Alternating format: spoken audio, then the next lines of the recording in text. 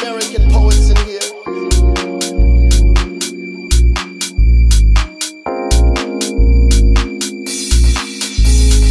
I want to hear an American poem, something American, you know. Some sassy shit, a South Carolina slave shouter, Alabama